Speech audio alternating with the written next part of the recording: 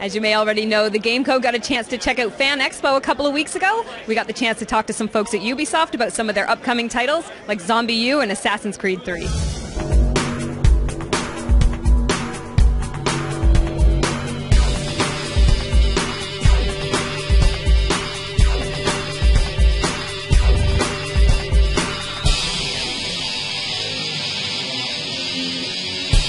Okay, well, we are at the show for the third time, and this is the second year that we actually have a booth dedicated to the video games.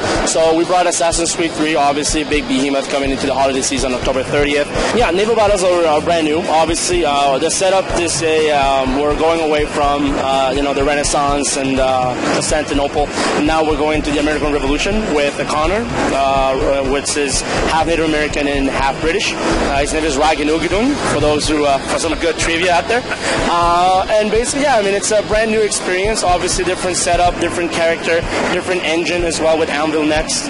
Um, so the game has been in development for the past three years. So as soon as the team was working, uh, basically work on Assassin's Creed 2 was done, they were doing Revelations and they were doing Brotherhood, a separate team, and then they were already starting working with research and developing Assassin's Creed 3 characters and stuff. Obviously, when you move out to a brand new setup with a brand new character, you know, we have historians working with us and making sure that everything is accurate as any other single Assassin's Creed game out there.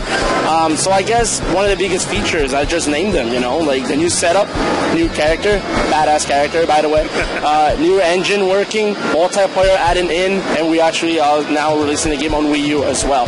Uh, as you know, the American Revolution was happening on the east side of the United States mainly, uh, but there's also another parts of North America that was happening. So in Liberation, you play as Aveline, who is the first main female character in the Assassin's Creed franchise, uh, and uh, his, her story happens in New Orleans.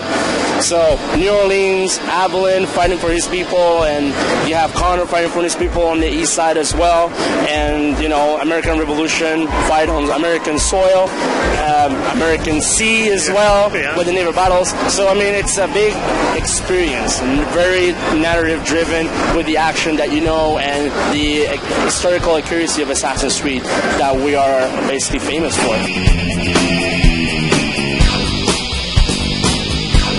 ZombiU, just to give you, for those who don't know, it's set up in 2012 in London.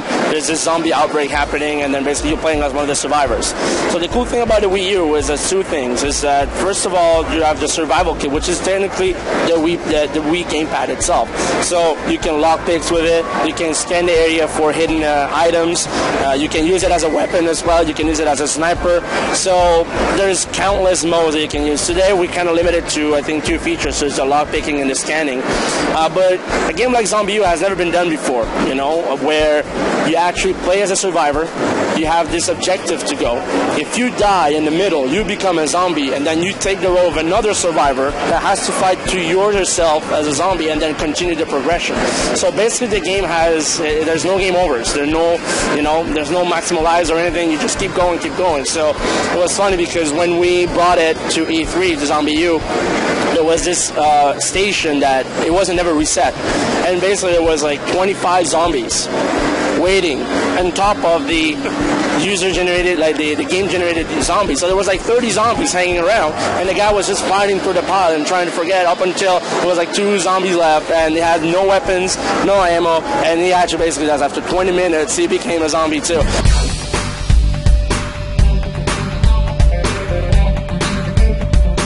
I mean, it's uh, Marvel's Avengers Battle for Earth, so it's based on the Secret Invasion comic from Marvel, and uh, Ubisoft Quebec, our studio, uh, is working very closely with Marvel in order to squeeze as many, many, many, you know, authentic details into that game. And so far, it's been an amazing response since we released it, since we bought it at E3, since we bought it, we bought it at Comic Con.